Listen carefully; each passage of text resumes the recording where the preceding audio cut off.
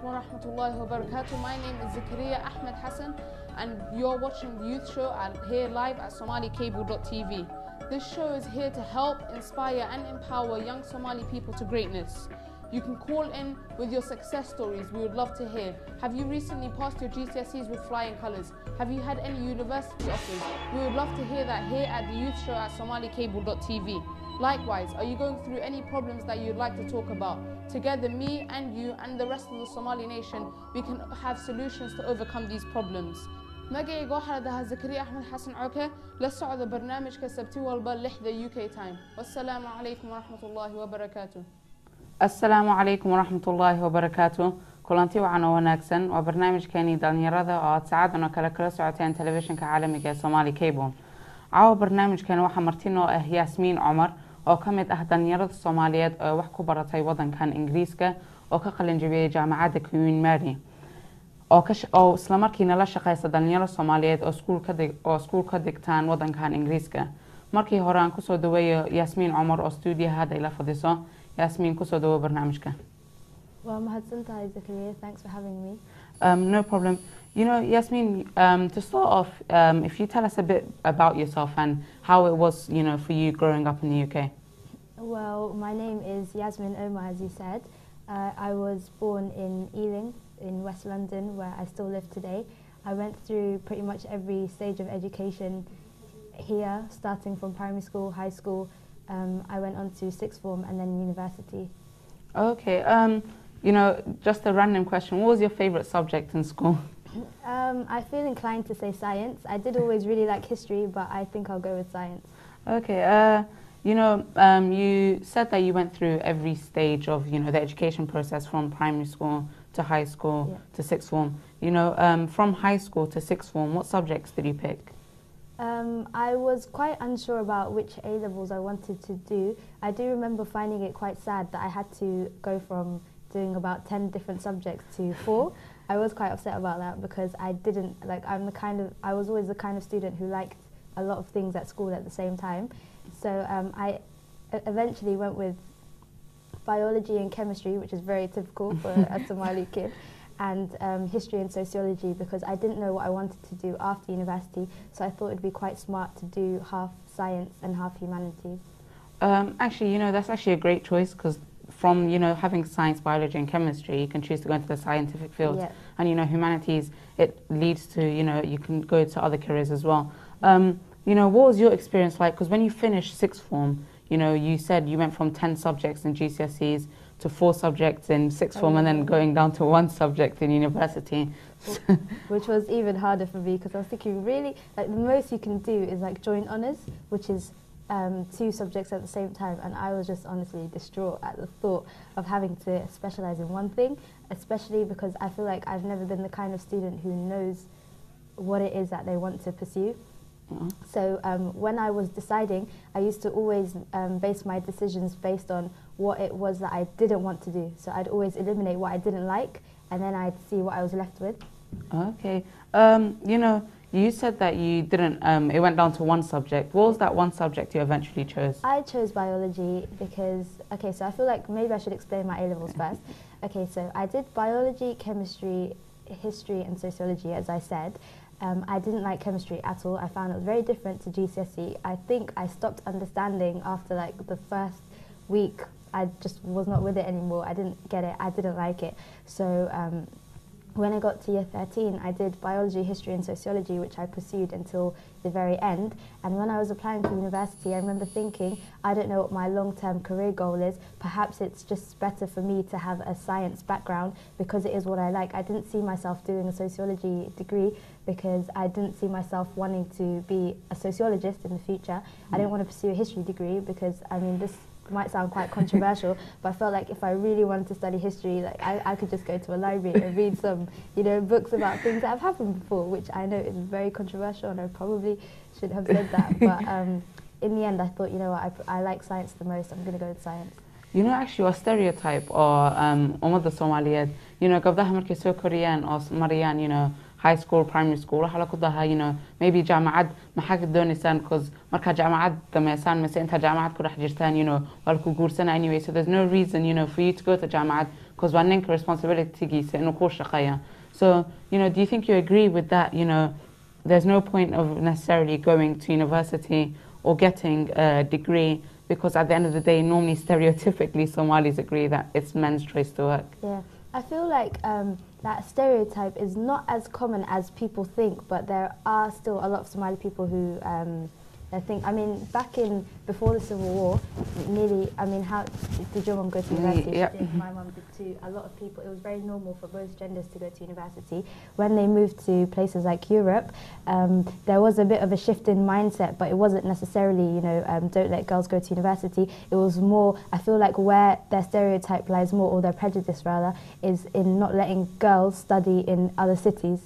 So, um, you know, trying to keep them in local universities regardless of things like league tables. So when I was applying for university, I remember when I got into Queen Mary, I got a scholarship and uh, this lady called up my mum and she was like, oh, Queen Mary, that- that's in East London, you know, she lives in West London.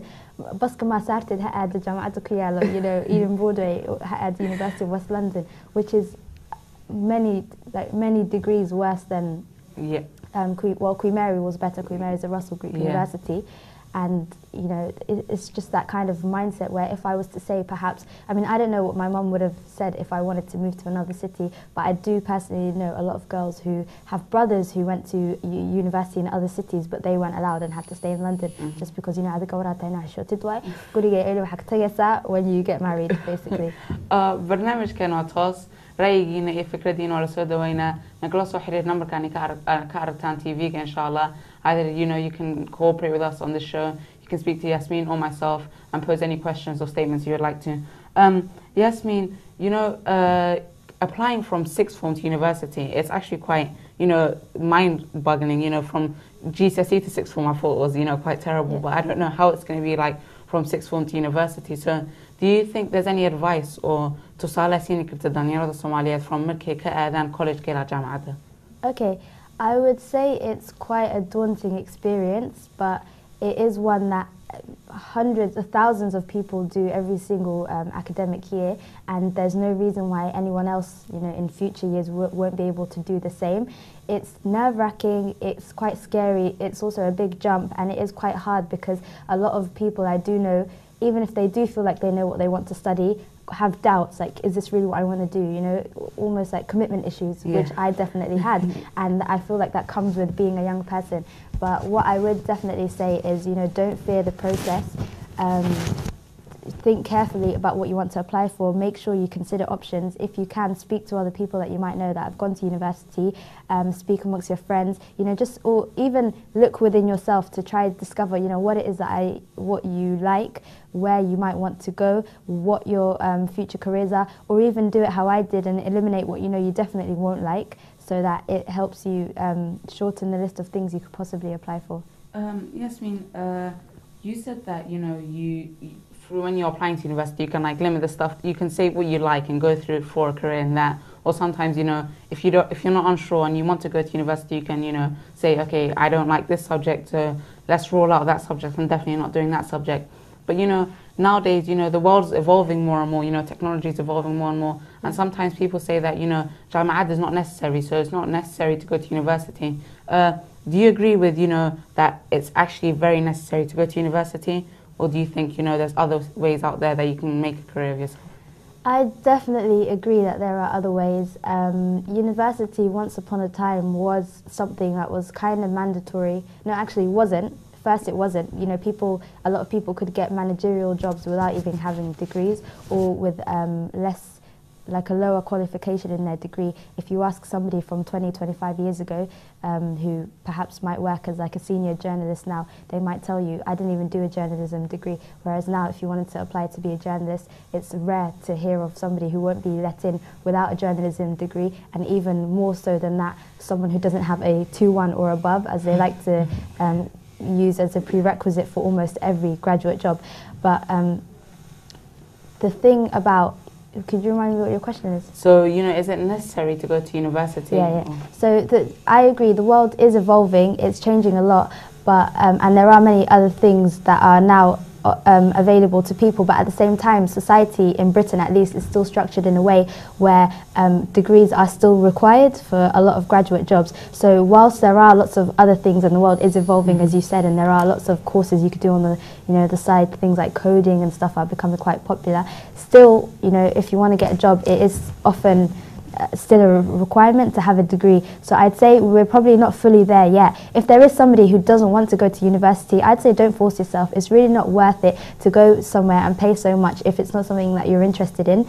Um, I do feel like it's a bigger leap to take than um, like not going to university is a braver, a bolder move to make because society is structured in such a way where it just heavily favors people who are degree holders. Um, you know, you said that uh, you know society favors it, and you know it's actually a Somalian stereotype. You know, wiilkayga mise gabadheeda hadday jaamacad aadan, you know, ku khasaaroobe, you know, in mase lacagaan ka bixinaya tutorka, in mase lacagaan ka. Bixinaya macalinka, so you know intaasoo lacag baan ku kharash gareeye, aan haddana waxay rabaan inay ku dahaan jaamacaddii ma aadiyaan, markay yaraayaan maxay sheegi waayeen, otherwise macalinka lacagta ma siin lahayeen, gurigii iska joogi lahayeen. So you know, the stereotype of um, you know waalidiinta Soomaaliyeed inay dahaan cunugayga you know jaamacaddu aado ama halkaasuu kusoo barto you know sometimes you know we need to move past certain stereotypes and certain cultures. You know we need to bring about our own cultures as dhalinyarada Soomaaliyeed so the next you know set of youth you know can follow us. Um, Yasmin when you went to like let's rewind back to the first day of university when you started Jama'adda how was your first day of university? Okay, so um, one thing I didn't do when I was in uh, doing my A levels is go to visit universities for open days. I just felt like I didn't need to because I didn't even know what I wanted to do. So I thought, you know what, I'm not even going to give myself that many options. I'm just going to pick a university. I'm going to see who gives me an offer. If I get an offer, then I'm just going to turn up on the first day. And that is exactly what I did. My first ever time at Queen Mary was my enrollment day when it was essentially much too late to, you know, take um, changed my mind about where I wanted to go. So I turned up, I you know um, took the Central Line from Ealing Broadway, I went to Mile End, I came, walked out Mile End Station, turned to my left and there you know was Queen Mary just down the road and I thought okay so this is where I'm going to be, I'm going to be in East London, okay. Um, I didn't know anybody, I didn't know where I didn't know anyone from the university. I didn't know anyone from the course. There were, I just knew nothing about Queen Mary. I didn't even know anybody in East London. I went to my first introductory lecture and I remember thinking, okay, so this is where I'm going to be for the next three years. And I do remember soon into university, I met who you guys now know as, you know, Fatima Ahmed, who was also doing the same course as me. Um, Fatima Ahmed is, is a, um, probably best known for being a YouTuber and um, we just so happened to meet at university because we were doing the same course. And um, I just remember being quite nervous on my first day, thinking, you know, I, I, had a lot of questions about myself. Is this where I want to be? And I do remember having a great sense of missing my friends from my old school and just, you know, having a familiar environment. I do like familiar things, which is very common as a person. Um, you, you you started, you know, Queen Mary, and you know, you felt very nervous. Yeah. But later on, you found out, you know, in universities they have a lot of societies. So you can have the, you know, French society, the Italian society, and you eventually founded Somali Society. Tell us a bit about, you know, how you founded it and how it became what it is today? Okay, so um, as I was saying, I made a friend called Fatima, and I also made a friend called Amina who um, noticed very early on in university that there was no Somali society, even though most other ethnic groups had a society. And she said, wouldn't it be a good idea if we set up a Somali society? And I said, yeah, I think it would be. So when we finished our second year in 2014, over the summer, I started the process of setting up the Somali society. And so in September 2014, it was officially launched. And on our first day at Freshers Fair, I think just over 100 people signed up, 120 Wow. people. And uh, yeah, I mean, they nominated me as uh, the president for it. So So you were the first official first female president Of of, the- Somalian Yeah, I- just like I'm the first female on your show. See, first female on my show, Mm. first Somalian president, you know, actually of a Somali society. You know, um, moving away from the t- topic of education, uh, there's a um, uh, thing, you know, you set up, you and a couple of other Somali young ladies called some, um, Sci-Fi. Yeah. So, you know, tell us a bit about Sci-Fi and what it actually stands for. SciFi is, stands for Somali Youth for Integrity. It's a charity that was set up to join all UK Somali societies and raise money for a common cause. the, there's just just the February just gone. There was a February fundraising, an event called. Um, well, the month itself was named February fundraising, where all um, society UK Somali society students work together to raise money, and we just had was it the finale last Friday.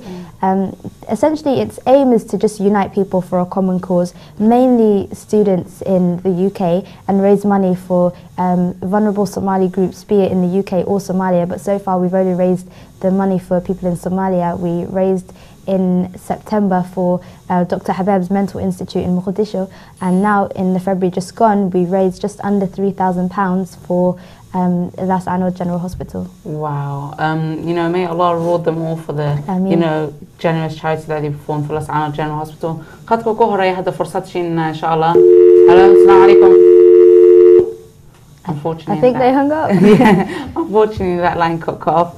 Um, you know, you said sci-fi stands for Somali Youth for Integrity. You know, how did you come up with that name? As in, you know, when you hear sci-fi, normally you think of uh, movie, you know, the genre movies, or you know, how did it come about, especially the spelling? Okay, um, so sci-fi itself, obviously the name was picked before the abbreviation. It was actually a friend of mine who picked the name. I am not going to name her though, and um, she thought of the name. And the reason why she picked Somali Youth for Integrity, well, she picked Somali Youth because it's done by Somali people who are young, and she, the reason why she specifically picked integrity is because of its two meanings.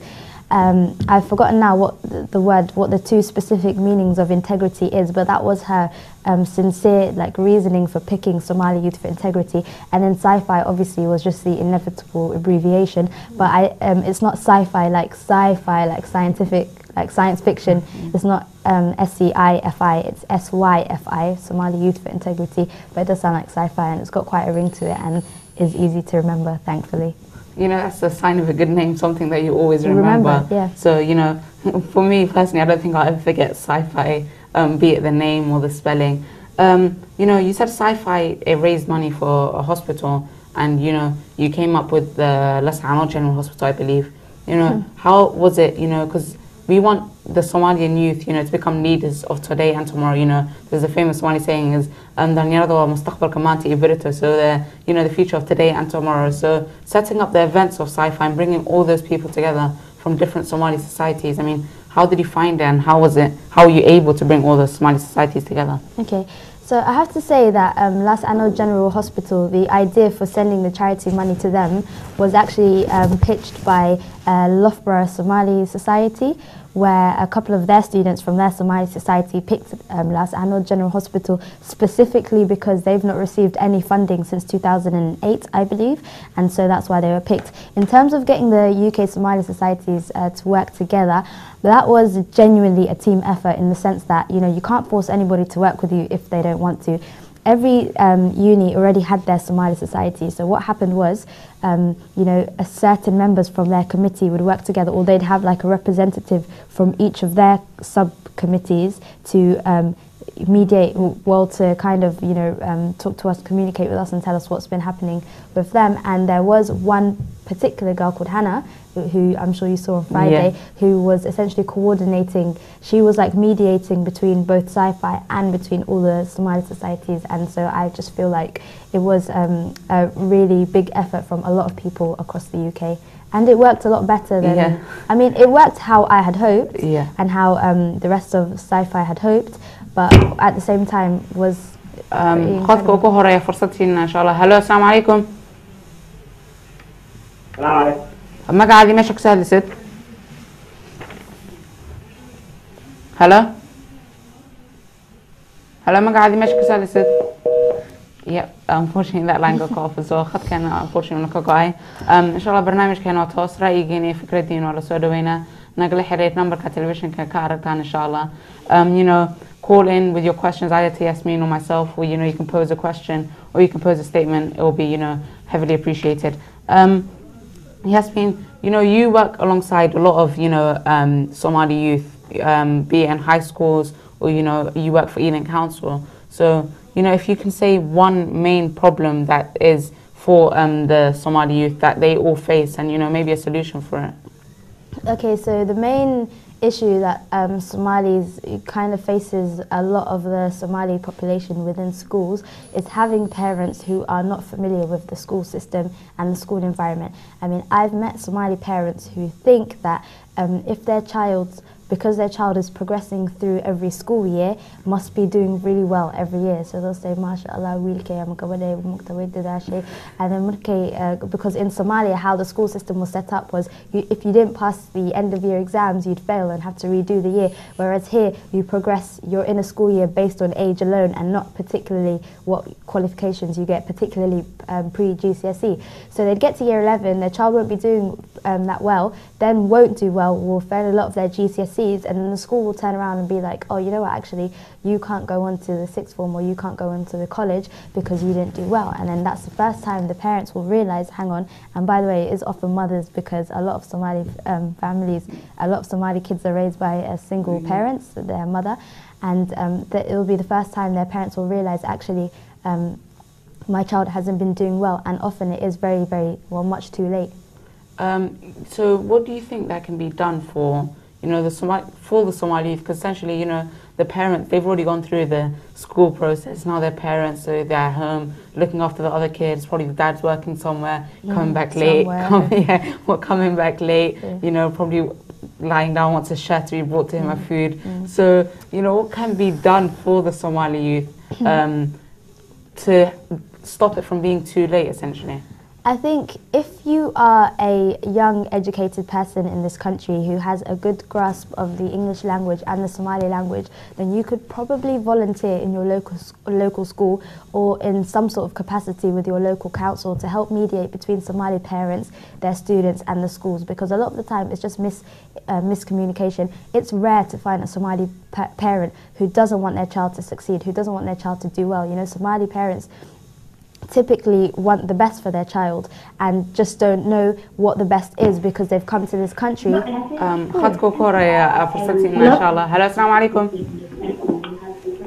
Hello? هلا السلام عليكم Maaleykum salaam. مقعدي مشك سادسة Cabdulaahi waxaa ka soo cayahay.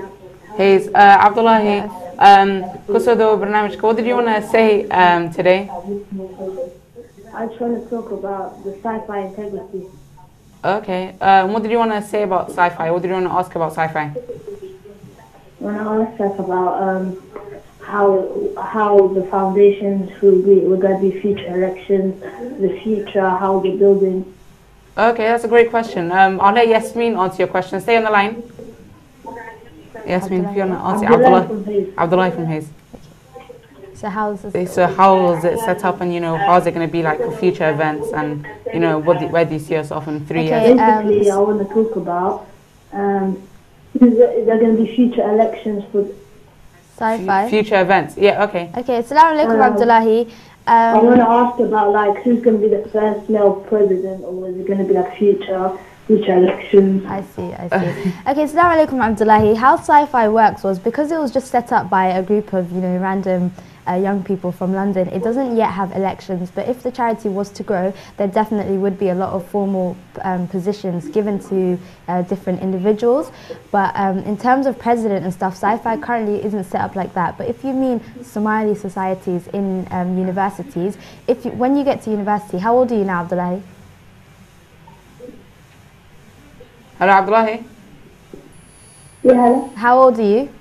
I can only hear you. Um, Oh. 16, 17. Okay. I'm with my mum. Okay, so um, in just you know maybe a year or two, you, you might go to university. When you get to university, if you join a Somali society there, um, you can run, you can nominate yourself to be a president, or you can, um, if there is no Somali society at your university, then you can set one up and then nominate yourself to be the president. Um, but in terms of uh, sci-fi itself, there aren't any um, specific roles at the moment. Okay. Yeah. did that answer your question Hello. hello 18. Okay, thank you very much for calling.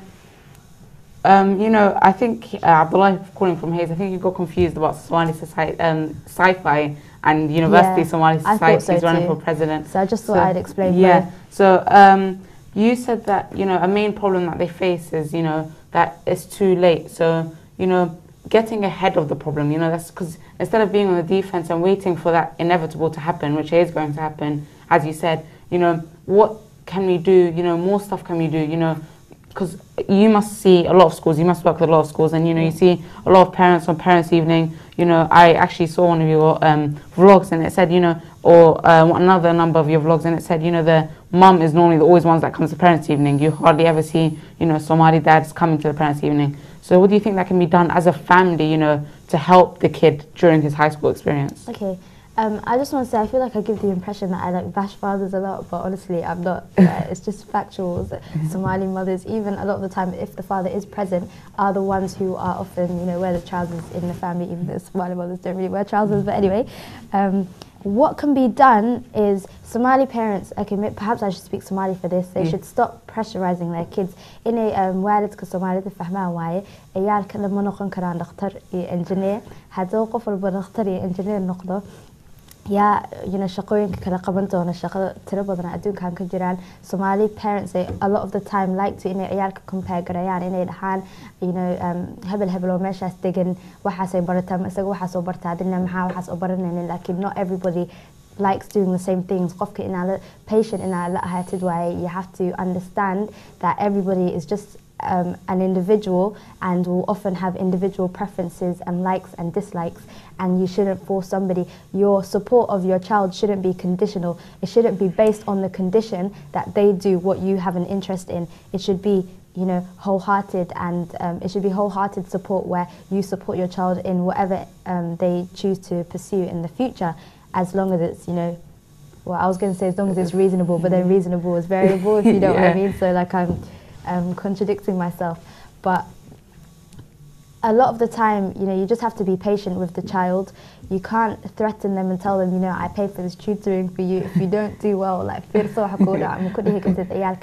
you have to um, take the time to understand the school that they're at and how the school system works. You know, you might, um, some parents, they have relatives who um, have children in other schools and then they'll know something was true for that child in that school and will assume that their child's school must be the same. But a lot of schools have different rules. There are different types of um, comprehensive schools. Some are, you know, comprehensive, some are now academies and have more autonomy and so the government has less of a say in the school and things like that. So you have to be, you know, have to be on good terms with your child's teachers.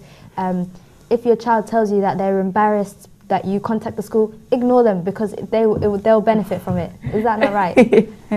um, you know, standing up for the youth of Somali youth, you know, I'm not sure them how to say, you know, call their parents and stuff. But of of course, you know, it helps, you know, for the, you know, teacher to interlink with the t- um, Yeah. parents and find out, you know, what's going on at home and likewise, you know, what the student is doing at school because, you know, the student might be sleeping at three o'clock in the morning and be tired during the school day and sleep on the um, desk during school and the parent might not know anything about it. So definitely it is good, you know, to cooperate with the teachers and, you know, the parents cooperate with each other so that they know what the student is actually doing. Definitely. Um, Yasmin, actually brought me back. You know when you said let me speak Somali for this bit, Yeah. you know, I was watching one of your vlogs and it was a funny story of you said, you know, speaking Somali. You know, if you want to share that with these guys. Okay, so um, basically, I have a YouTube channel that I recently set up, but there aren't that many videos on it yet. But there is one in particular that went semi-viral. It went viral by my standards, and it's a vlog of me speaking Somali at an event for the first time. I'd never publicly spoken Somali.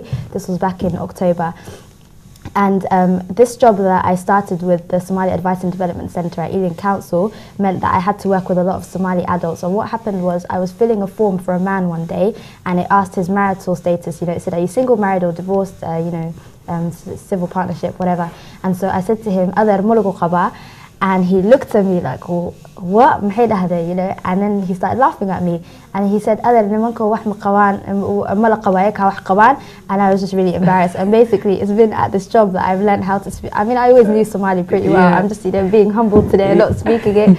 But um, I did know Somali well, but I just remember being really embarrassed. And I feel like my vlog went viral because I mentioned that story. You know, other, you know, qaba, you know, other nimanka qabo, Yeah. you know, Ayaga wax.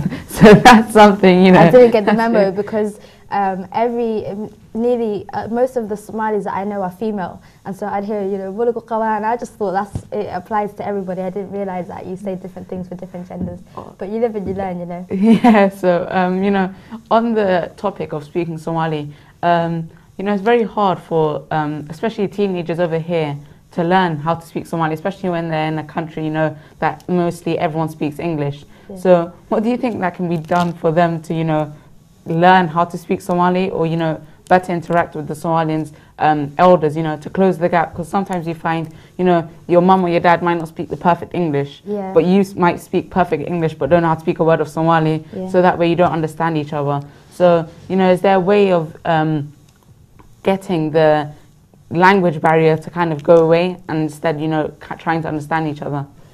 I get asked that um, on a regular basis, and I also do wonder it on a regular basis. I mean, me in particular, I know that I have pretty good Somali for someone who was born and raised in London, but I don't know why that's the case, especially because I have two siblings, and if they speak Somali, like you will just, you know, you'll want to tell them stop, you know, don't don't do it. But um, I do wonder that all the time, and I genuinely don't know what it is that can be done about it. Um, I feel like as an um, as a Somali ethnic group, or as um, in terms of our culture, we don't really have a culture where um, parents spend all time with their children and sit down for things like uh, dinner and stuff, which might be common in other cultures where kids learn their languages. I really don't understand why um, Somalis in particular don't speak Somali well when they were raised here. I feel like perhaps if the communication between um, parents, you know, xiriirka between parents and the child was improved, maybe that's the case. But I, I don't know what it is, honestly, I don't know. Uh, okay, uh, خذك كلا هذا قلنا إن شاء الله. Hello, السلام عليكم. hello assalamu alaikum unfortunately I don't think the connection is that good today. Um, barnaamijkeena waa toos ra'yigiina fikradiina insha allah waa la soo dhaweynaa nagala xiriir numberkani ka aragtaan telefishinka um, you know you'd be more than welcome to call in insha allah khadka ka horreeya hadda gelina insha hello? Assalaamu calaykum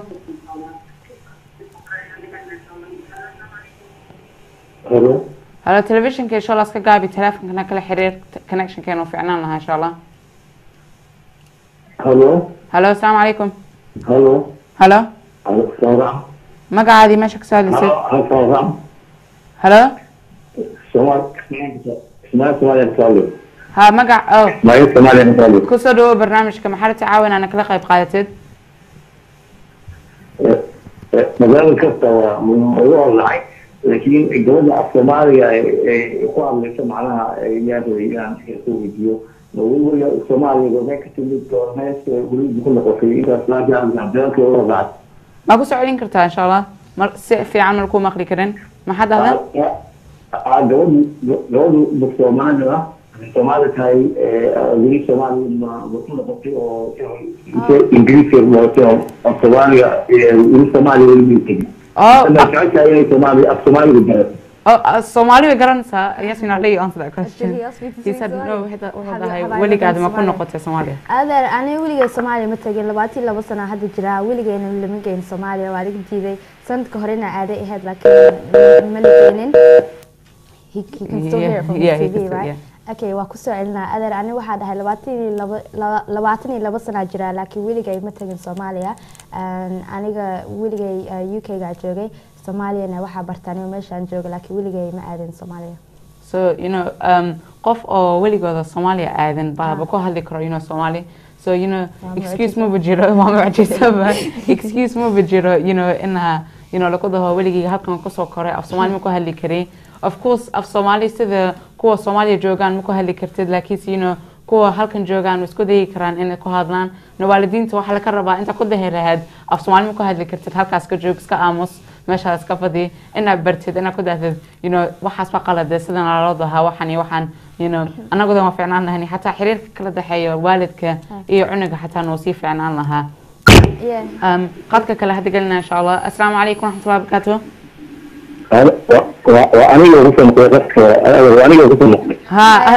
ha adeer um, yasmiina kuu jawaabaysa hadda qadka insha allah ku dhex jir adeer waxaa ku dhahay waxaa ku dhahay labaatan iyo labo sanaa jiraa laakiin aniga weligay soomaaliya ma tegin. U k gaa weligay joog waa ku dhashay waana ku soo koray. Halo? Ma socotaa inaad afka soomaaliya barato oo soomaaliya dib maadaama aad origin soomaaliya soomaali tahay? Ya mala ku fahmayn ku socday Eh, maadaama origin soomaalia qof eh, soomaali tahay originka uu soomaali yahay hadda aad britain dowladda joogti laakiin niyadaadu ku jirtaa inaan af soomaaligan ku tacno balti soomaaligan aad ugu laado waa jeclaan lahay inaad soomaaliya tago. Um, Haddii ah, dadka wax ah, faa-iido leh haddaa u qaban karo inaa u qabto inaa soo arko um, inaa abaar soo joogo laakiin hadda weli ima suuragal maybe um, july ramadaanka ciida soo socday inaa tagaa dhici karto laakiin ma hubi. Adeer sidoo kalena barnaamijkan waxaa lagu talagalay waxaa jiro dhalinyaro oo daawadaan oo af soomaali ku hadli karin oo af ingiriis un fahmayaan iyona ku oo af soomaali ku hadli karaan ingiriis fahmaynin so labadaba inaa la fahamsiiyaa lagu talagalay insha allah.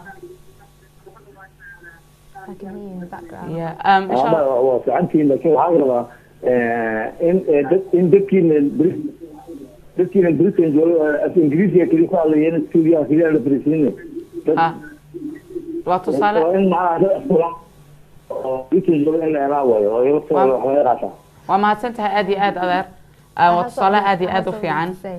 um, you know uh, he's yeah you can reply to Okay. if you want. So um, one thing I want to say is I feel like um, a lot of the reason why ciyaalka ay af Soomaali ugu hadlin is because culture dhaqan waxa qabnaa dadka lagu qoslo niyada laga dilo. Lagu dhaho aragta minka wax uu ku hadlayo qaana male you know you laugh at people. If you hadda ciyaalka lagu qoslo ma ku hadli doonaan Soomaali. You know when you're learning English and you make mistakes it's rare for you to be laughed at. You know, you, you get corrected. Whereas when it's Somali, you're a laughing stock and you're reminded for like the next five years until you know you make another mistake, and then that's the new thing that they pick on. So I feel like you know niyada yaa laga dilin ha lagu dhaho Somali ku hadal markay wax qal- qaldan sheegaan lagu dhaho saas uh, sax maahan saan dheh ama you know saan yeel inaa lagu dhihin arag damiinkaan ama dius you know dius bari waxaas la dhahaa dadka ka imaade qurbaha. Uh, um, Yasmin, uh, you know, you finished the degree in biology. Yeah. Uh, just a question out there: Where do you see yourself in, let's say, five years? Um, before before you answer that question, uh, قد كلا فرصتنا إن شاء الله. Hello, السلام عليكم. Hello, السلام عليكم. I'm pretty sure there isn't anybody there. Unfortunately, I think قد كاسونا كقاي. Um, you know, as I was saying, where do you see yourself maybe in, let's say, five years? Mm, Okay, so um, I finished my degree in biology and then I decided sitting in like a lab, for example, is definitely something I don't want to do. I need human interaction, I need people, you know. And so I have decided now that I have a great interest in um, policies and uh, things, laws and stuff that affect people without necessarily being a lawyer. So um, I feel like I've applied now to do a master's in social policy because inshallah if I finish that master's then the plan is that I go into you know policy making and stuff like that um, specifically in the field of education. I have an interest in children's education and them doing well and also in um, empowering marginalized groups in the UK, namely the Somali community, because that's the one that I hail from and have the most interest in, the most vested interest in, but obviously would be open to helping helping any vulnerable person. But now my long-term aim, inshallah, is to uh, go into social policy, make policies for education and things like that, and maybe other um, areas which I'm not sure of yet. And then, I don't know, just pursue a career in policy. But even still, I'm not 100% sure. I'm still quite on the fence about journalism because, I, as you can see, I chat for days, you know. so I might go into journalism, but I'm still quite unsure about that. Um, you know, uh, a lot of Somali teenagers, they get told, you know, um, it's actually like I get a lot of Facebook messages, Twitter messages. They say, oh, um, they say, um, I always get told, you know, my parents always get told that I have this potential, and you know, I'm always getting told I have potential, but somehow, you know, I don't see where the teachers are coming from. They're saying I've got this potential. So, like, what can I do to bring out this so-called potential that people keep mentioning? I'd say work really hard. Work so hard that you can't ever you can't turn around after an exam and say actually there was more I could have done. Work so hard that you know you finish every specification that you have for every subject. Work so hard that uh, nothing you never settle for anything. You know you always think okay m- could I do more? Could I do more? Learn to stretch yourself. It's really um, it's a really good skill to be self-disciplined and to have a lot of self-confidence. You know believe in yourself. Your mindset I feel like a lot of people don't realize is almost as important as the effort you put in. I'd say your mindset is about half and the effort you put in is the other half. If you don't have the mindset, ويلقاي بالشقية wax akhri, you're never going to get anywhere because you have to believe that you are able to achieve something for you to be able to do it. That's actually, you know, that's probably one, Inspirational, that's yeah? probably one of the best quotes we've had from our first female guest on the show. Um, خطك كلا قلنا إن شاء الله. Hello, السلام عليكم. Hello? Hello, السلام عليكم. التلفزيون كيسكا قابي إن شاء الله. تلفون كنا كلا حري.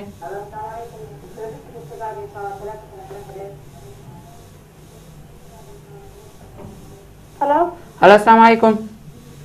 ما قاعدين عليكم السلام. ما قاعدين ماشي سادسد. Yeah, yeah, I'm from Manchester.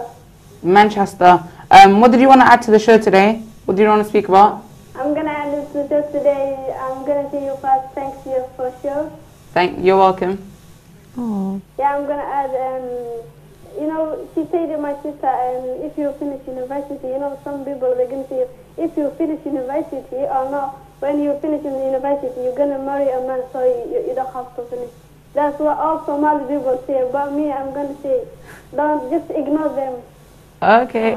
Okay, that's actually really great. No, Thank, thank you very much. Thank you. I agree with you. Are you in, are you in college now? No, a lot of people do think I'm in college because I look really young, but I've actually finished university. I've graduated and I work full time. Yeah, I'm proud of you too. I'm now I'm Thank in you. high school. I'm year 10. I'm doing chemistry and biology. Yeah. Honestly, good luck with it. I hope you do very well, inshallah. Bye. Bye. Thank you very much. That's really nice. Okay, so guys, I'll tell you a bit of a story, yeah? The first time I went on live television was in January, um, and I made my friend Huda come on TV with me, and we spent an hour talking about educational achievement and, you know, what it takes to be successful, only for right at the end to be asked, oh, so, you know, what would you look for in a guy? As if, you know, everything else I said before that was void and that I wasn't someone who, you know, anyone should be proud of because I'm not married. And so, you know, we ended up trolling him and saying, you know, we're looking for someone with hands, feet, nose. Huda said nose, I think. Um, but that is one thing. I feel like Somali culture, and I do see where they're coming from. Um, there, there's a great emphasis placed on getting people married all the time, and I honestly, I genuinely understand why. But at the same time, I feel like you know, separate a person's education and also your wish for them to get married. Just because uh, someone isn't married doesn't make their qualifications void, or you know, doesn't make them less successful than somebody who is mar- married. Like I feel like it's often you know romanticized, and a lot of a person's success lies in you know um, who they marry. But you know, it, I don't feel like it should be seen that way. You shouldn't take away someone else's achievements because they're not married. You know, adding to that, Yasmin, um, you know, um, marka qof guursado so naag gabar hadday hadda guursato nin you know ninkii gabadha you know unfortunately marmar wis furaan so you know maybe wuu furi karaa ninka ninka wuxuu ku dhihi karaa you know waan ku fure markaas haddana naagtu waxay haysataa saddex carruur na jaamacaddana ma aadan cause waxa laku dahay nin baa guursanaysaa jaamacadda iska daa. So haddana waxay samaynaysaa ma garanayso ee saddex carruur ah guriga u you know maybe ninka wuu ka cararay meel kale buu aaday so haddana ma garanayso waxay samaynayso But on the other hand, you know, if you find, uh, you know, gabar Soomaaliyeed or maybe wax soo dhigata jaamacad ka soo baxday, you know, maybe oo shaqaynaysaa, markaas qof bay guursataa, markaas, you know, markii qof guursatay haddii is furaan, you know, Ilaahay ha ka badbaadin is furaan, laakiin haddii is furaan, then, you know, naagtu waxay dhihi kartaa, already waxay waan soo bartay, shaqadeed waan bilaabay, hadda shaqa waan ku noqoni karaa. So, you know, ninka I'm not totally dependent upon him, I'm not reliable upon him, so, you know, um, xujiye kuma lahaani karo you know gumeysi kuma hayni karo inuu furo mise inuu waxaasi ku sameeyo. Because waxaan ahay qof ani soo bar qof ani wax soo bartay you know waan shaqayni karaa markaan rabo. So you know that emphasis that you said if you um, you know do educate yourself and you do end up working you know then you don't have that you know um, blackmailing of you know if I divorce you then you're not going to end up anywhere in life Yeah, so I'd say um, to, in particular, my sisters, you know, marriage is a great thing. It's completing half your deen, and it's something that the Prophet ﷺ encouraged. At the same time, I would strongly suggest that you know you work hard to build yourself up so that you can sustain yourself both emotionally and financially. Like Zakaria, the example he used, if you were to uh, later get divorced or you know just find yourself needing to rely on yourself, that you are able to do so both emotionally and financially. Um, it's a great thing to you know work hard and build yourself up and ultimately attract what it is that you reflect you know there are a lot of people you'll see on twitter for example who will say you know what yeah i uh, will only accept a guy who offers me like a 50000 pound a head or a 100000 pound a head but you know they still you know yeah, as There was a someone meme tweeted, I have actually an you know, Oyster you know, or, don't have a I don't need 50,000 pound man. So, you know, so Hora funny. Aina Suga, one year 50,000 pound Exactly. I feel like um, you can only, you should only have the, um, you should only ask for what it is that you can, you know, give or what you represent. You know, Yeah. kn- know your place. You know your As value. awful as that sounds, you know your value. You are all valuable people. Honestly, girls, guys, everybody, you are all valuable human beings. Um, just don't be the kind of person who comes on Twitter talking about hypothetical situations, okay? but um, yeah, teach yourself to be both financially and emotionally independent, not just one or the other, but both. And you know, your parents, because of a civil war. Mo- most people's parents left after civil war, and they want the best for you. Okay, I know there are a lot of people who got married very young, and marriage worked for them very well, and you know stayed together for a very long time. But there are also a lot of people who place a lot of emphasis on uh, you know um, partnering up with somebody because they feel like su- success lies in that. But true success lies in teaching yourself, you know, disciplining yourself, getting to where you are having your own goals that are separate from every other entity that lives in on this earth. Yeah, and you know, focusing on balancing your deen, balancing your dunya, and you know, then progressing onto marriage or other things. You know, it's meant to complement you, not not. It's not meant to be, you know, um, a make or break. You know, it's not all or nothing. It's not like an action potential. like it's meant to complement who you are as a person. So you have to already be a, a you know credible individual. Um, Yasmin, you know, as much as we can talk here Yeah. for like 24 hours, Yeah. you know, You is know there me. one thing, yeah, is there one thing that you'd like to say, you know, to any Somali youth out there, or any youth in general, Yeah. um, you know, one advice you'd give them? I'd say believe in yourself. It's ultimately your belief, your belief in yourself that w- will be able to take you the furthest. Believe in yourself and always be kind to people around you. I genuinely believe that there is no such thing as too kind. If you know somebody who you could help in some way, help them and teach yourself to not always um, need um, to be appreciated or to receive praise for what you do. Help people, always be kind, and above all, always believe in yourself, inshallah.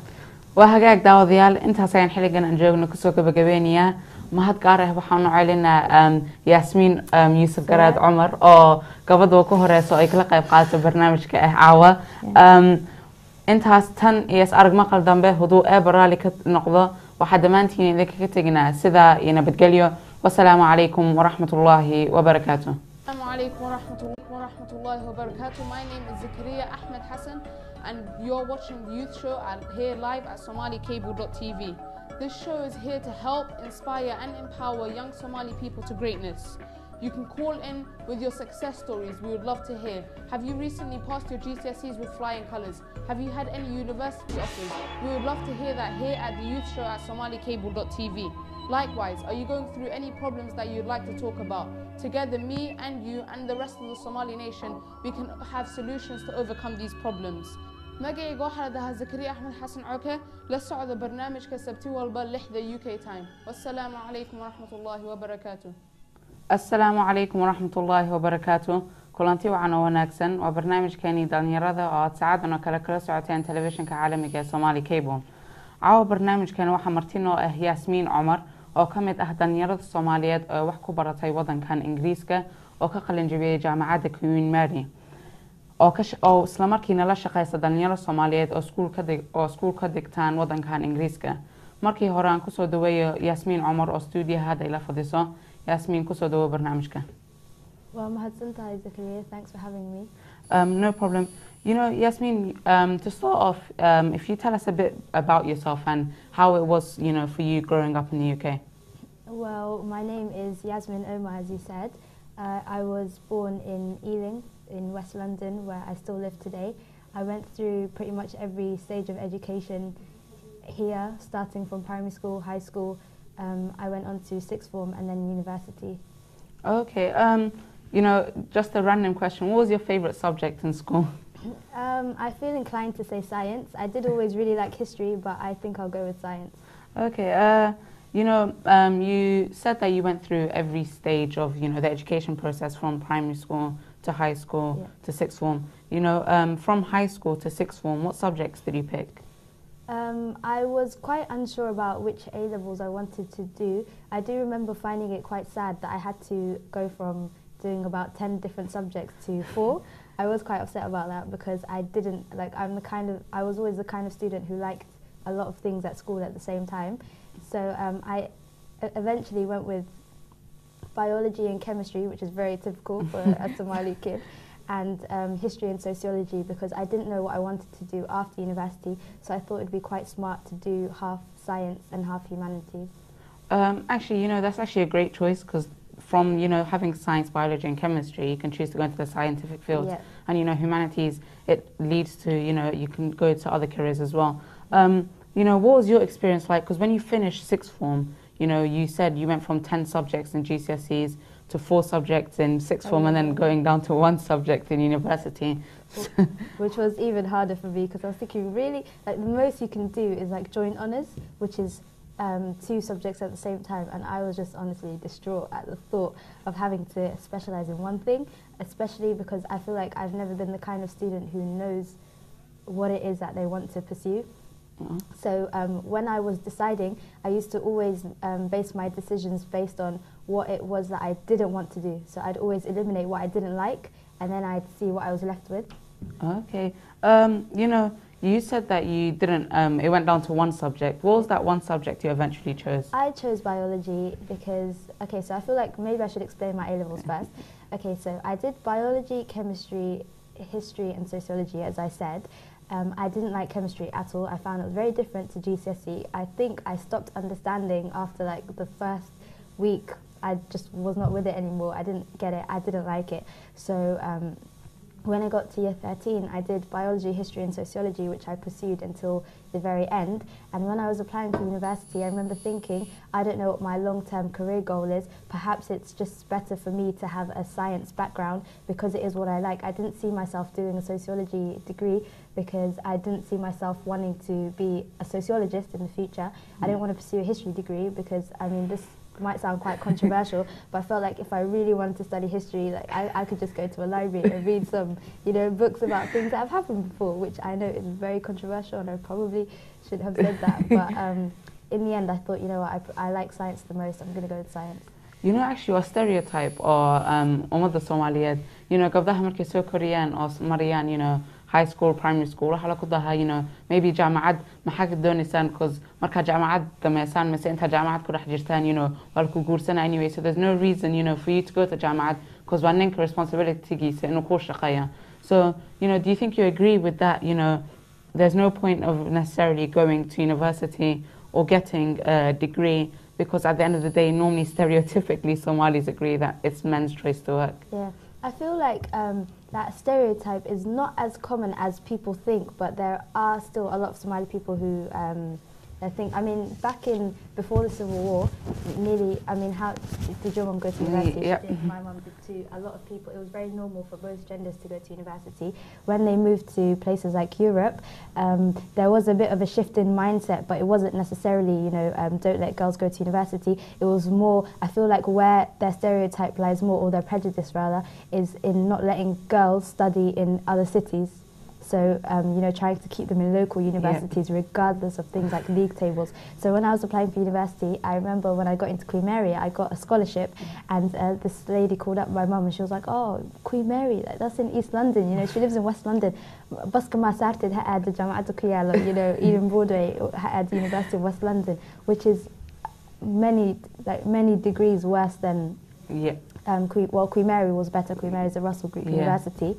And, you know, it, it's just that kind of mindset where if I was to say perhaps, I mean, I don't know what my mum would have said if I wanted to move to another city, but I do personally know a lot of girls who have brothers who went to university in other cities, but they weren't allowed and had to stay in London just because, you know,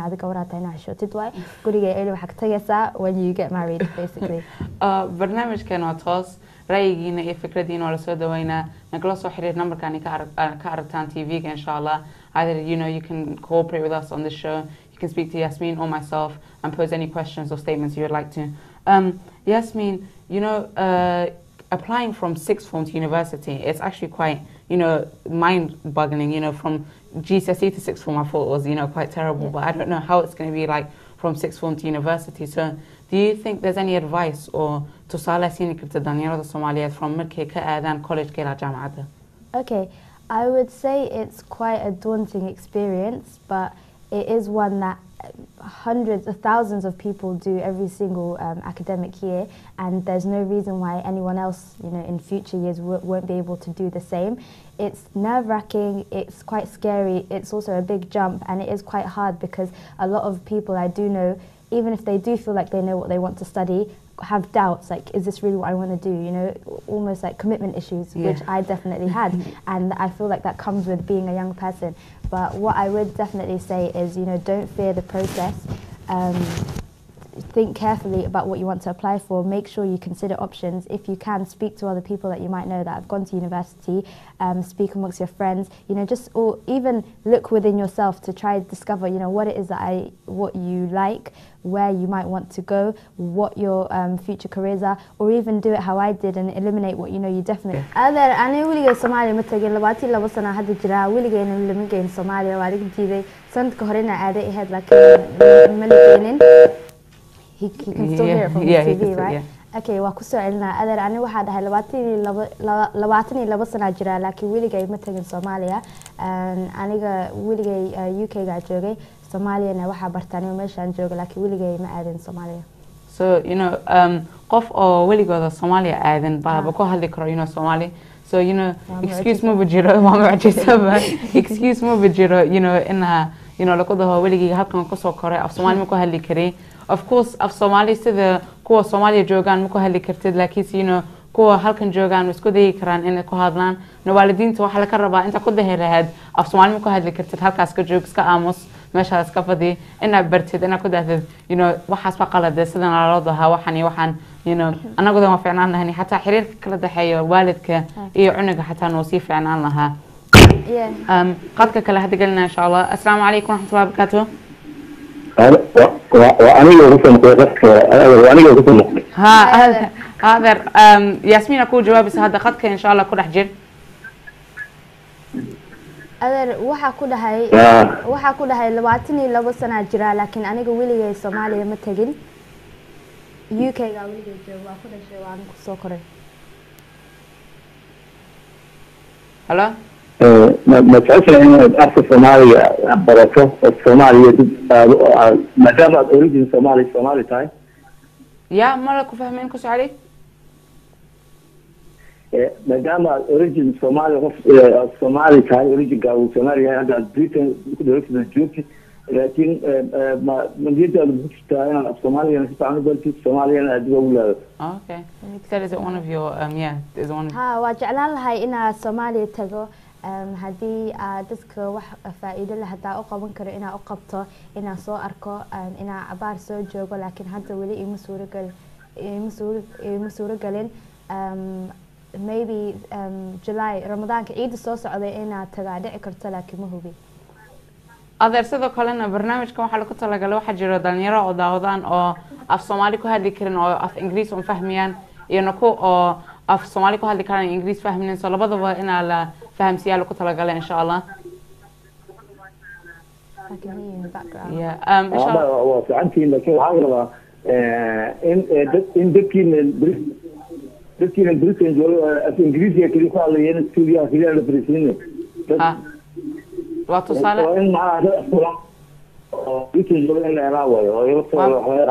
waa mahadsan tahay aada iyo aada adeer waa tusaale aada iyo aada u fiican you know uh, he's yeah you can reply to Okay. if you want. So um, one thing I want to say is I feel like um, a lot of the reason why ciyaalka ay af Soomaali uga hadleen is because culture dhaqan waxa qabnaa dadka lagu qoslo niyada laga dilo. Lagu dhaho aragta minka wax uu ku hadlayo qaana male. You know you laugh at people. If you hadda ciyaalka lagu qoslo ma ku hadli doonaan Soomaali you know when you're learning English and you make mistakes it's rare for you to be laughed at. You know, you, you get corrected. Whereas when it's Somali, you're a laughing stock and you're reminded for like the next five years until you know you make another mistake and then that's the new uh, thing that they pick on. So I feel like dadki inay niyada iyo adiga dilin waxa lagu dhaho Soomaali ku hadal markay wax qaldan sheegaan lagu dhaho saas uh, sax maahan saan leh ama you know saan yeel inaa lagu dhahay aragda ninkan ama dius you know dius bari waxa sala dhahaa dadka ka imaade qurbaha. Uh, um, Yasmin uh, you know you finished the degree in biology. Yeah. Uh, just a question out there. Where do you see yourself in let's say five years? Um, before before you answer that question, uh, قد كلا فرصتي إن شاء الله. Hello, السلام عليكم. Hello, السلام عليكم. I'm pretty sure there isn't anybody there Unfortunately, I think قد كاسونا كغاي. Um, you know, as I was saying, where do you see yourself maybe in, let's say, five years? Mm, Okay, so um, I finished my degree in biology and then I decided sitting in like a lab, for example, is definitely something I don't want to do. I need human interaction, I need people, you know.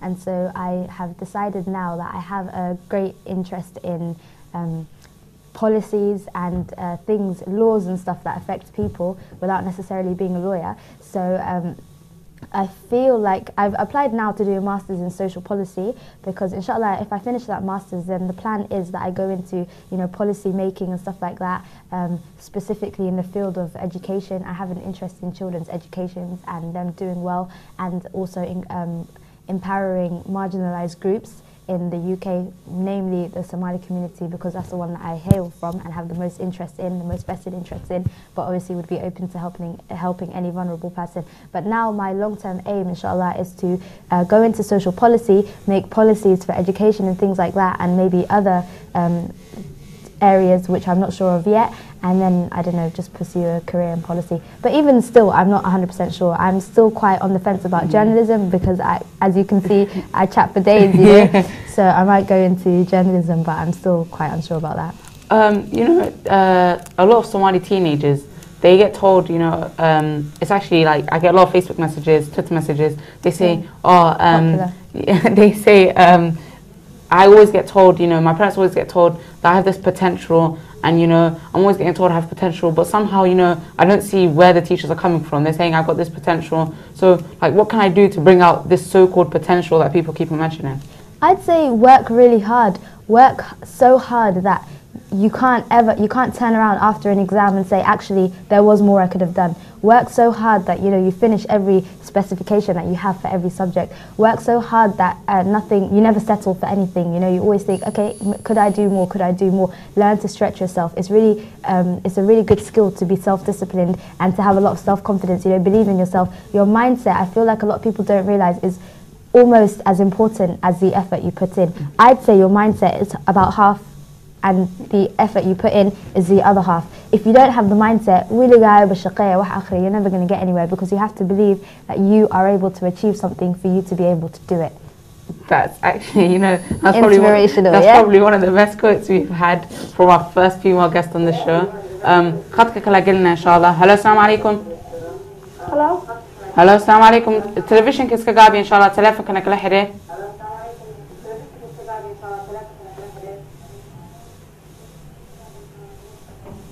Hello? Hello, السلام عليكم. ما قاعدين عليكم السلام. ما قاعدين ماشي سادسة. Yeah, yeah, I'm from Manchester. Manchester. Um, what did you want to add to the show today? What do you want to speak about? I'm gonna add this to just today. I'm gonna say you first. Thanks you for show. Thank. You're welcome. Oh. Yeah, I'm gonna add. Um, you know, she said to my sister, um, if you finish university, you know, some people they're gonna say, if you finish university or not, when you finish in university, you're gonna marry a man, so you, you don't have to finish. That's what all Somali people say. But me, I'm gonna say, don't just ignore them. Okay. Okay, that's actually really great. No, Thank, thank you very much. Thank you. I agree with Yeah. you. Are you in, are you in college now? No, a lot of people do think I'm in college because I look really young, but I've actually finished university. I've graduated and I work full time. Yeah, I'm proud of you too. I'm now I'm Thank in you. high school. I'm year 10. I'm doing chemistry and biology. You won't like, so that it helps you um, shorten the list of things you could possibly apply for.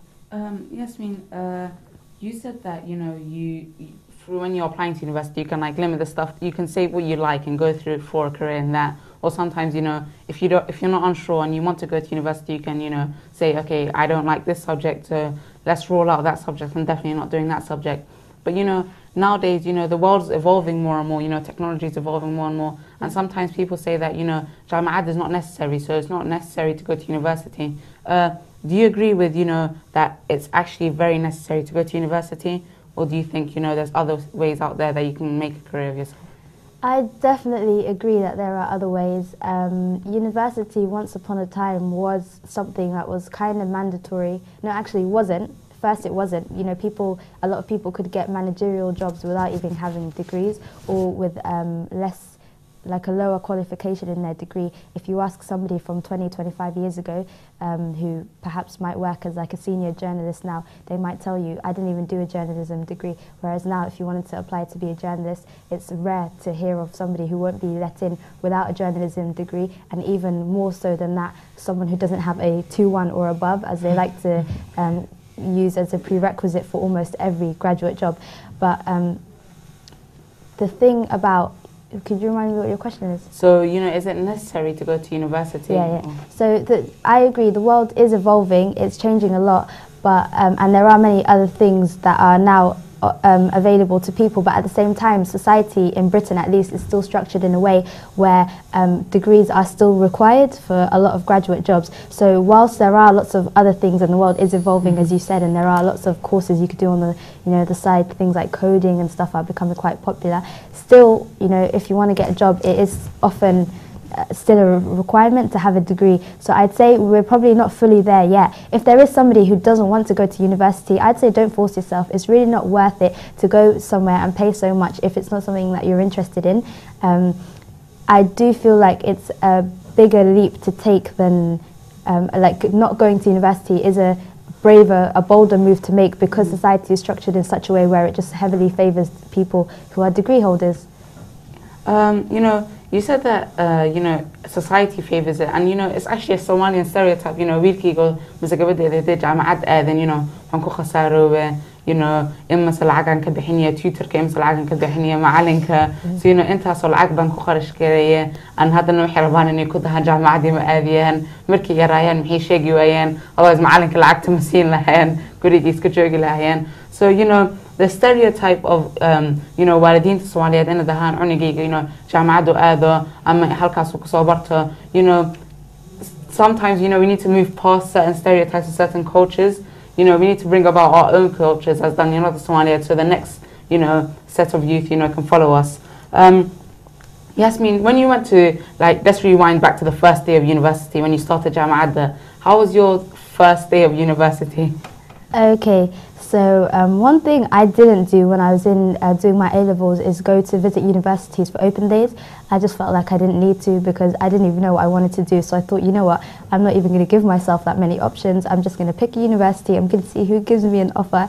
If I get an offer, then I'm just going to turn up on the first day. And that is exactly what I did. My first ever time at Queen Mary was my enrollment day when it was essentially much too late to, you know, take um, changed my mind about where I wanted to go. So I turned up, I you know um, took the Central Line from Ealing Broadway, I went to Mile End, I kept, walked out Mile End Station, turned to my left and there you know was Queen Mary just down the road and I thought okay so this is where I'm going to be, I'm going to be in East London, okay. Um, I didn't know anybody, I didn't know where I didn't know anyone from the university. I didn't know anyone from the course. There were, I just knew nothing about Queen Mary. I didn't even know anybody in East London. I went to my first introductory lecture and I remember thinking, okay, so this is where I'm going to be for the next three years. And I do remember soon into university, I met who you guys now know as, you know, Fatima Ahmed, who was also doing the same course as me. Um, Fatima Ahmed is, is a, um, probably best known for being a YouTuber, and um, we just so happened to meet at university because we were doing the same course. And um, I just remember being quite nervous on my first day, thinking, you know, I, I, had a lot of questions about myself. Is this where I want to be? And I do remember having a great sense of missing my friends from my old school and just, you know, having a familiar environment. I do like familiar things, which is very common as a person. Um, you, you you started, you know, Queen Mary, and you know, you felt very nervous. Yeah. But later on, you found out, you know, in universities they have a lot of societies. So you can have the, you know, French society, the Italian society, and you eventually founded Somali Society. Tell us a bit about, you know, how you founded it and how it became what it is today. Okay, so um, as I was saying, I made a friend called Fatima, and I also made a friend called Amina, who um, noticed very early on in university that there was no Somali society, even though most other ethnic groups had a society. And she said, wouldn't it be a good idea if we set up a Somali society? And I said, yeah, I think it would be. So when we finished our second year in 2014, over the summer, I started the process of setting up the Somali Society. And so in September 2014, it was officially launched. And on our first day at Freshers Fair, I think just over 100 people signed up, 120 Wow. people. And uh, yeah, I mean, they nominated me as uh, the president for it. So So you were the first official first female president Of of, Somalian Yeah, I- societies. just like I'm the first female on your show. See, first female on my show, Mm. first Somalian president, you know, actually of a Somali Mm. society. You know, um, moving away from the t- topic of education, uh, there's a, um, a thing, you know, you set up, you and a couple of other Somali young ladies called some, um, Sci-Fi. Yeah. So, you know, tell us a bit about Sci-Fi and what it actually stands for. SciFi is, stands for Somali Youth for Integrity. It's a charity that was set up to join all UK Somali societies and raise money for a common cause. The, there's just just the February just gone. There was a February fundraising, an event called. Um, well, the month itself was named February fundraising, where all um, society UK Somali society students work together to raise money, and we just had was it the finale last Friday. Um, essentially, its aim is to just unite people for a common cause, mainly students in the UK, and raise money for um, vulnerable Somali groups, be it in the UK or Somalia. But so far, we've only raised the money for people in Somalia. We raised in September for uh, Dr. Habib's Mental Institute in Mogadishu, and now in the February just gone, we raised just under £3,000 for um, Las Anod General Hospital. Wow. Um, you know, may Allah reward them all for the, you know, generous charity that they performed for Las Anod General Hospital. Uh, Hello, السلام Unfortunately, I think that, they hung up. yeah, unfortunately, that line cut off. Um, you know, you said Sci-Fi stands for Somali Youth for Integrity.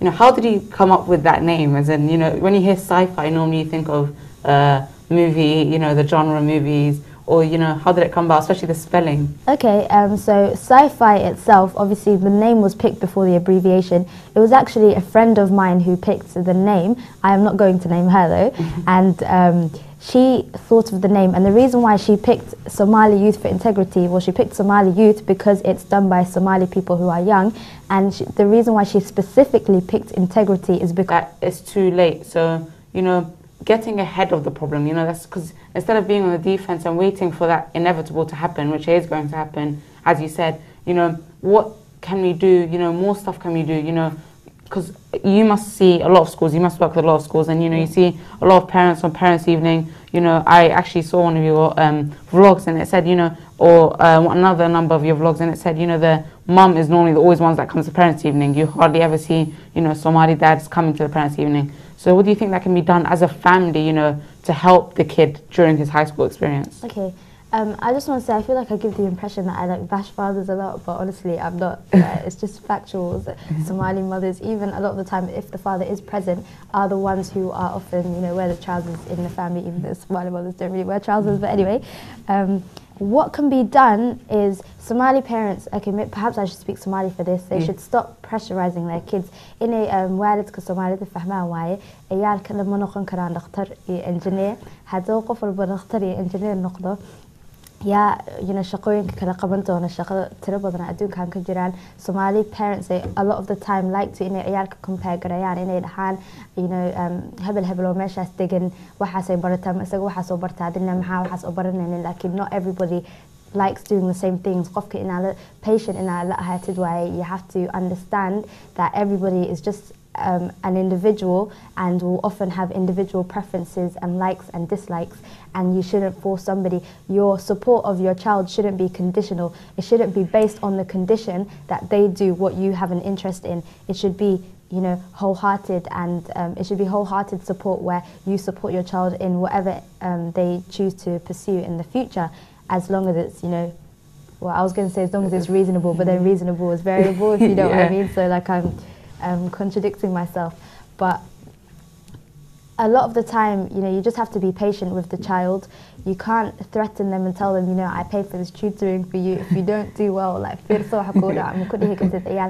you have to um, take the time to understand the school that they're at and how the school system works. You know, you might, um, some parents, they have relatives who um, have children in other schools and then they'll know something was true for that child in that school and will assume that their child's school must be the same. But a lot of schools have different rules. There are different types of um, comprehensive schools. Some are, you know, comprehensive, some are now academies and have more autonomy and so the government has less of a say in the school and things like that. So you have to be, you know, have to be on good terms with your child's teachers.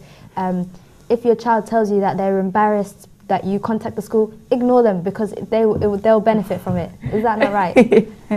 um, you know, standing up for the youth of Somali youth, Yeah. you know, I'm not sure them how to say, you know, call their parents and stuff. But of of course, you know, it helps, you know, for the, you know, teacher to interlink with the t- um, Yeah. parents and find out, you know, what's going on at home and likewise, you know, what the student is doing at school because, you know, the student might be sleeping at three o'clock in the morning and be tired during the school day and sleep on the um, desk during school and the parent might not know anything about it. So definitely it is good, you know, to cooperate with the teachers and, you know, the parents cooperate with each other so that they know what the student is actually doing. Definitely. Um, Yasmin, actually brought me back. You know when you said let me speak Somali for this bit, Yeah. you know, I was watching one of your vlogs and it was a funny story of you said, you know, speaking Somali. You know, if you want to share that with these guys. Okay, so um, basically, I have a YouTube channel that I recently set up, but there aren't that many videos on it yet. But there is one in particular that went semi-viral. It went viral by my standards, and it's a vlog of me speaking Somali at an event for the first time. I'd never publicly spoken Somali. This was back in October. And um, this job that I started with the Somali Advice and Development Centre at Ealing Council meant that I had to work with a lot of Somali adults. And what happened was I was filling a form for a man one day and it asked his marital status. You know, it said, are you single, married or divorced, uh, you know, um, civil partnership, whatever. And so I said to him, "Adar mulugu qaba?" And he looked at me like, "Wh- what? You know, and then he started laughing at me. And he said, "Adar nimanka wax ma qabaan, ma la qabo, ayaga wax qabaan." And I was just really embarrassed. And basically, it's been at this job that I've learned how to speak. I mean, I always knew Somali pretty well. Yeah. I'm just, you know, being humble today and not speaking it. But um, I did know Somali well, but I just remember being really embarrassed. And I feel like my vlog went viral because I mentioned that story. You know, other, you know, qaba, you know, other nimanka Yeah. you know, Ayaga ayaga wax wax qaban. So that's something, you know. I didn't get the memo because um, every nearly uh, most of the Somalis that I know are female, and so I'd hear you know "Bulugu qawa," and I just thought that's it applies to everybody. I didn't realize that you say different things for different genders, but you live and you learn, you know. Yeah, so um, you know, on the topic of speaking Somali, um, you know, it's very hard for um, especially teenagers over here to learn how to speak Somali, especially when they're in a country, you know, that mostly everyone speaks English. Yeah. So, what do you think that can be done for them to, you know, learn how to speak Somali, or you know, better interact with the Somalians um, elders, you know, to close the gap? Because sometimes you find, you know, your mum or your dad might not speak the perfect English, Yeah. but you s- might speak perfect English but don't know how to speak a word of Somali, Yeah. so that way you don't understand each other. So, you know, is there a way of um, getting the language barrier to kind of go away and instead, you know, trying to understand each other? I get asked that um, on a regular basis, and I also do wonder it on a regular basis. I mean, me in particular, I know that I have pretty good Somali for someone who was born and raised in London, but I don't know why that's the case, especially because I have two siblings, and if they speak Somali, like you will just, you know, you'll want to tell them stop, you know, don't don't do it. But um, I do wonder that all the time, and I genuinely don't know what it is that can be done about it. Um, I feel like as an um, as a Somali ethnic group, or as um, in terms of our culture, we don't really have a culture where um, parents spend all time with their children and sit down for things like uh, dinner and stuff, which might be common in other cultures where kids learn their languages.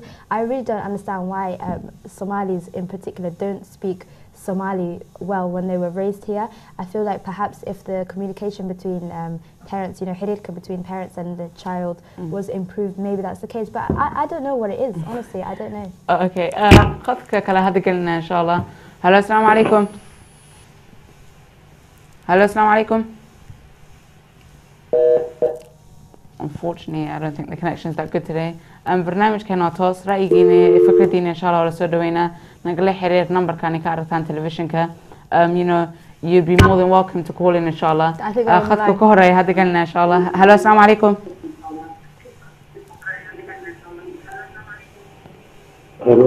هلا تلفزيون كي ان شاء الله اسكا قابي تلفون كنا كل حرير كونكشن كانوا في اعلان لها ان شاء الله هلو هلو السلام عليكم هلو هلو هلو سارة ما قاعدي ماشي كسالي سيد هلو هلو ha magac oh. Kusoo dhawo barnaamijka maxaa tacaawin ana kala qayb qaadatid magaalada kasta waa ugu horlacay laakiin gabadha af soomaaliga ku hadlaysa macnaha yaad inaan soo weydiiyo. Weliba soomaaliya goormee ka timid goormees weliba ku noqotay intaas laakiin ugu horlacay ma ku soo celin kartaa insha allah? Mar si fiican markuu maqli karin. Maxaa dhahdan gabadhu buksoomaali ah soomaali tahay weli soomaaliya ku noqotay oo ingiriiska af soomaaliga weli soomaaliya weli may tegin socotaa inay soomaaliya af soomaaliga barato soomaaliba garanaysaa yasin i'll let you answer that question. He said no waxay tahay weligaad ma ku noqotay soomaali because of its two meanings. Um, I've forgotten now what the, the word, what the two specific meanings of integrity is, but that was her um, sincere like reasoning for picking Somali Youth for Integrity. And then sci-fi obviously was just the inevitable abbreviation, but I, um, it's not sci-fi like sci-fi like scientific like science fiction. It's not um, S-C-I-F-I, it's S-Y-F-I, Somali Youth for Integrity, but it does sound like sci-fi and it's got quite a ring to it and is easy to remember, thankfully. You know that's a sign of a good name something that you always remember, remember, yeah. so you know for me personally I don't think I'll ever forget sci-fi um, be it the name or the spelling. Um, you know you said sci-fi it raised money for a hospital and you know you came up with the Las General Hospital I believe. You know how was it you know because we want the Somalian youth, you know, to become leaders of today and tomorrow. You know, there's a famous Somali saying is, um, "Danyarada wa mustaqbal kamanti ibirito." So the, you know, the future of today and tomorrow. So setting up the events of sci-fi and bringing all those people together from different Somali societies. I mean, how did you find it, and how was it? How were you able to bring all those Somali societies together? Okay, so I have to say that um, Las Anod General Hospital, the idea for sending the charity money to them was actually um, pitched by uh, Loughborough Somali Society, where a couple of their students from their Somali society picked um, Las Anod General Hospital specifically because they've not received any funding since 2008, I believe, and so that's why they were picked. In terms of getting the UK Somali societies uh, to work together, that was genuinely a team effort in the sense that you know you can't force anybody to work with you if they don't want to. Every um, uni already had their Somali society, so what happened was, um, you know, a certain members from their committee would work together, or they'd have like a representative from each of their subcommittees to um, mediate, well, to kind of, you know, um, talk to us, communicate with us, and tell us what's been happening with them. And there was one particular girl called Hannah, who, I'm sure you saw on Friday, who was essentially coordinating. She was like mediating between both sci-fi and between all the Somali societies. And so I just feel like it was um, a really big effort from a lot of people across the UK. And it worked a lot better than. Yeah. I mean, it worked how I had hoped Yeah. and how um, the rest of sci-fi had hoped, but at the same time was Um, pretty qodka incredible. ugu horreeya fursadtiina insha allah halo asalaamu calaykum magacaadii meesha ka soo hadlaysid halo halo magacaadii meesha ka soo hadlaysid Yep, unfortunately that line got cut off as well. khadkeena unfortunately ka go'ay. Um, insha Allah barnaamijkeena waa toos ra'yigiina iyo fikradiina waa la soo dhaweynaa. Nagala xiriir numberka televisionka ka aragtaan insha Allah. Um, you know, call in with your questions either to Yasmin or myself, or you know, you can pose a question or you can pose a statement. It will be, you know, heavily appreciated. Um, Yasmin, you know, you work alongside a lot of, you know, um, Somali youth, um, be it in high schools or, you know, you work for Ealing Council. So, you know, if you can say one main problem that is for um, the Somali youth that they all face and, you know, maybe a solution for it.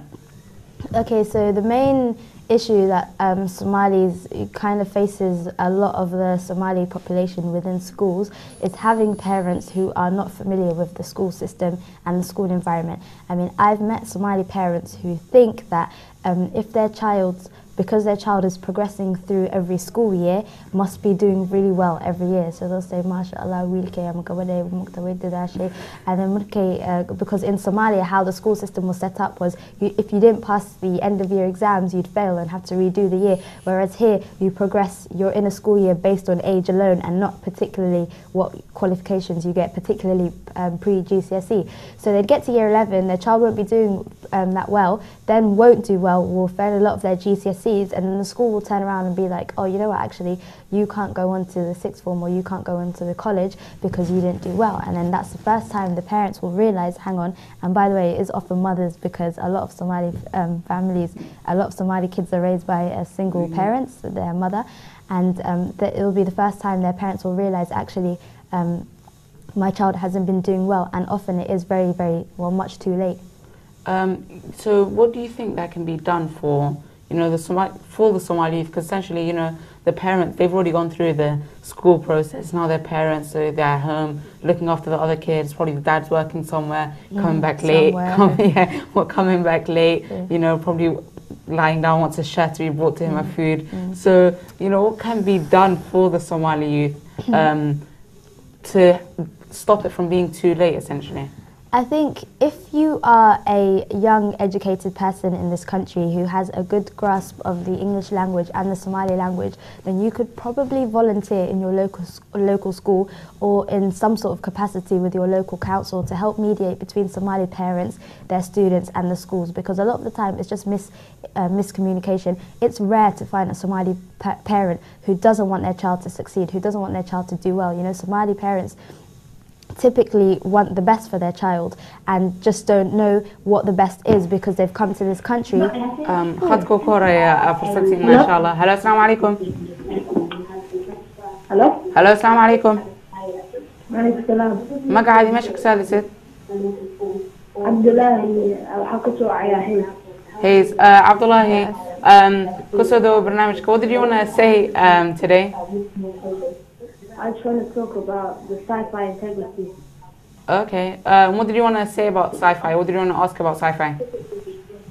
I want to ask about um, how how the foundations will be will there be future elections, the future, how the building. okay that's a great question. Um, I'll let Yasmin answer your question. Stay on the line. Yasmin if you want to answer Abdullah Abdullah. from Hayes. Abdullahi from Hayes So how's this? So how is it set up and you know how's it going to be like for future events and you know what do, where do you see yourself in three Okay. years um, I want to talk about um, is there, is there going to be future elections for Sci-fi. future events yeah okay Okay, Assalamu alaikum Um, Abdullahi. I want Um, to ask about like who's going to be the first male president, or is it going to be like future future elections? I see, I see. Okay, Assalamu alaikum Abdullahi. How sci-fi works was because it was just set up by a group of, you know, random uh, young people from London, it doesn't yet have elections, but if the charity was to grow, there definitely would be a lot of formal um, positions given to uh, different individuals. But um, in terms of president and stuff, sci-fi currently isn't set up like that. But if you mean Somali societies in um, universities, if you, when you get to university, how old are you now, Abdullahi? hello Abdullahi Yeah. How old are you? I can only hear you. Um, Oh. 16, 17. Okay. I'm with my mum. Okay, so um, in just you know maybe a year or two, you, you might go to university. When you get to university, if you join a Somali society there, um, you can run, you can nominate yourself to be a president, or you can, um, if there is no Somali society at your university, then you can set one up and then nominate yourself to be the president. Um, but in terms of uh, sci-fi itself, there aren't any um, specific roles at the moment. Okay. Yeah. did that answer your question Hello. hello 18. Okay, thank you very much for calling. Um, you know, I think uh, Abdullah calling from Hayes. I think you got confused about Somali society, um, sci-fi and university Yeah, Somali thought societies running too. for president. So I just thought So, I'd explain Yeah. both. So um, you said that you know a main problem that they face is you know